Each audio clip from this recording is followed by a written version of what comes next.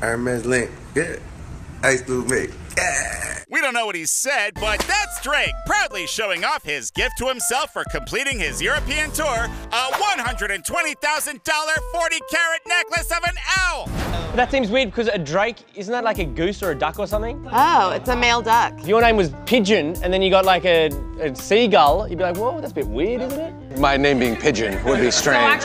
Quiet, Pigeon, we got a story here. Yes, famed jeweler Ben Baller hand delivered the pricey new OVO logo to Drake on Monday night in LA, and it's just full of blue, canary, and white diamonds, plus some pink sapphires sprinkled in. I gotta say, you know what? That's kind of cool. You could seriously get that at Claire's. Oh, seriously?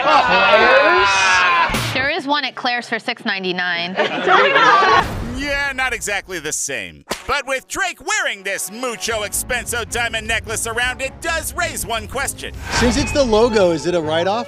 I think that's a write-off. Now, the other question. Should he really be buying all these diamonds? Everyone's getting robbed anyway. His tour bus got robbed. Took all his jewels. Yep, back in September, around three mil worth of jewelry was stolen off Drake's bus, and now he's just tempting them again. We're living in dicey times. Yeah, where you can't even wear an owl chain and feel safe.